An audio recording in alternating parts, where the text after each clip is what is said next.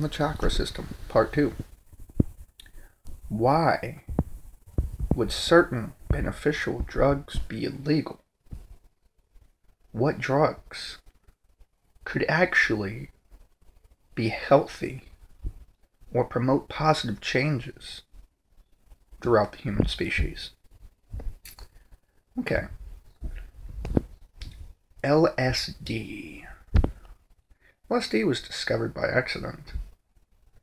And interestingly enough, its effects were so remarkably powerful and entertaining that it was continued to be manufactured and studied.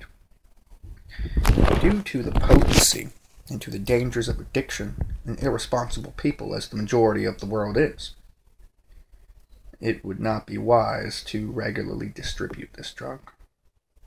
However, even bigger than the levels of danger, as if accessing more of your mind wouldn't already be somewhat dangerous. If we operate on a low spectrum, the majority of us, then increasing the power to something would be foolish. Think Tim the Toolman Taylor of Tool Time on Home Improvement. He added power to everything, and what happened? Catastrophe. Every time. But it didn't stop him from wanting to make things bigger and better and stronger. Now, provided that they would work, it would probably work, but for a short duration. Keep this in mind if you choose to go against all of my advice.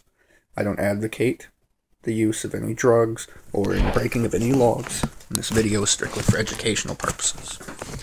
However, there was a time where I'd once experimented with acid. My very first time was unlike any of the things that I was told it should be. It was enlightening. The anxiety was real, incredible, as someone who already experiences anxiety, that's saying something. Um, it was as if I was connected with everything, and I proved all of my understandings to be accurate, from astral traveling from my own body, checking out the time on a watch from people 50 feet away, listening to their conversations, coming back before manually walking over there to test if this was illusion. Among thousands of other experiments First, um, I guess because I like to control my body and my reality, I had no effects. I was in company, um, separating from them. Uh, an hour, two hours of being on my own, I started to experience different effects. The first was the onset of anxiety, complete sheer panic, but because of the mentality and everything being enhanced, it was sort of worth it. What would I do if it wasn't anyway? And I felt connected with everything. Whatever I chose to think about or feel was increased a thousandfold. It wasn't tripping. I didn't see things that weren't there, although I did have one vision experience of the past of where I was however many years ago, what it looked like, what was different. And that was very fascinating, and it was a lot of information that came in, in a flash and gone as quickly, but I retained all of this information. I also discovered the benefits of memory enhancement for this drug. How, um, if one were to take this and receive a lot of information very quickly, that they may still retain this information with minimal effort. This, I believe, has occurred due to what people call the trails effect. I was playing with a laser light and I moved in a circle and observed that I could see it move in a second circle, just a split second beyond itself. And that told me that this would be a great memory enhancement drug. Of course, I didn't continue to just experiment with this drug, but it's important to note that it could have beneficial purposes. In fact, um, people were considering giving mushrooms and LSD to clients in therapy because it made them more susceptible to take the advice and the direction given to them. Of course. I mean, if it is like some hallucination or some big dream, then that means you're in a suggestible state, broadcasting somewhere in the theta range. Drug number two Shrooms, psilocybin cubensis, magic, magic, mushroom, mushroom, mushroom. I've never done magic mushrooms personally. However, I've seen a plethora of research that suggests that it has rejuvenating properties. Apart from the obvious less intensity than LSD would have, magic mushrooms repair brain damage. They actually recreate broken neurological passageways. Can you imagine the possibility of helping one with Alzheimer's or some other degenerative brain disease by giving them something, sure, hallucinogenic, but what if you were in a safe and medicinal environment? You were protected and you had doctors and staff on command.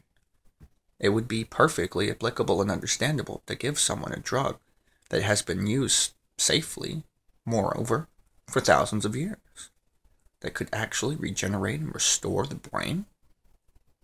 Incredible, yeah?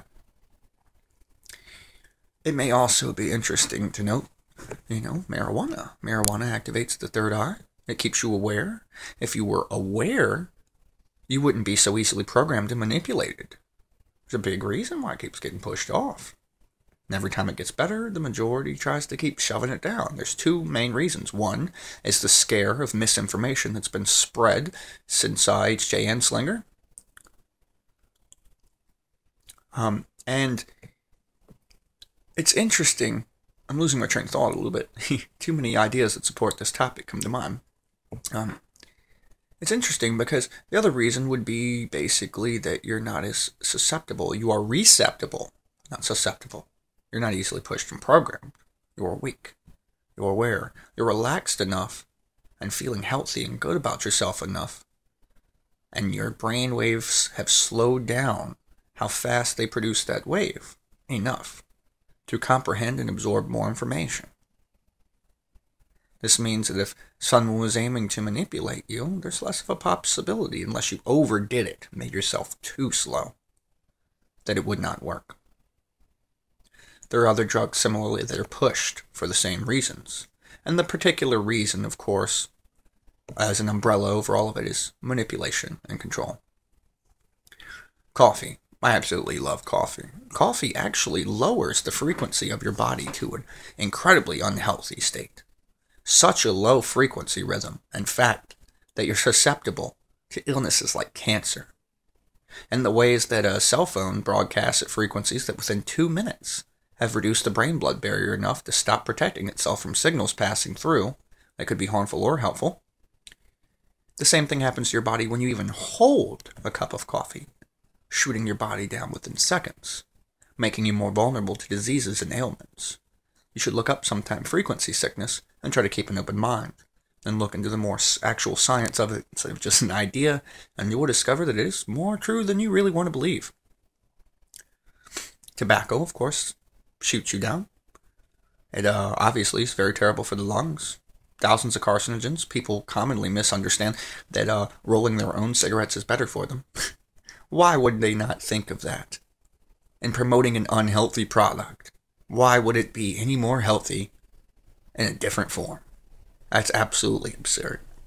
It's just as unhealthy. Studies have been done. There are a few less chemicals that are manually added by certain cigarette companies, but the majority of them are still there.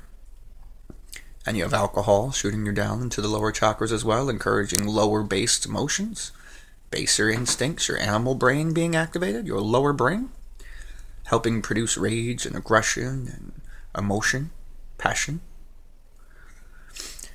Of course, these drugs, some can be beneficial. Now, why would we, in the way that the world is ran, in this medicinal age, in the age of money and power and control would we promote good products? Of course we wouldn't. We would promote a whole fucking crew of people selling you temporary symptomatic cures. Curing the symptom will not cure the problem. So you might want to evaluate yourself and this indoctrinated edu- education we've all received through different varying means, and actually stopping to think from time to time, and doing your own research and your own experimentation, if you will, on why things are the way they are. You've been lied to about many things. Now, here's a fun thing to add to the end of this. Since the majority of people know that marijuana isn't this harmful drug that they think it is. And no, I'm not high right now. I'm just kind of tired. um, I found a pamphlet in the doctor's office that said, Beware of the marijuana smoker. Does your friend get smelly? Have trouble remembering things that just happened? Encourage them to seek professional help. Your friend might be smoking marijuana. Anyway, I thought you'd enjoy that. I'd include more in the descriptive pamphlet if I had the time, maybe even the picture, but I'm running low on seconds, and I think YouTube still limits us to 10 minutes if we're not sponsored. Well, I'm Kevin Chaos, and I hope you enjoyed this very informal video. Ta-ta.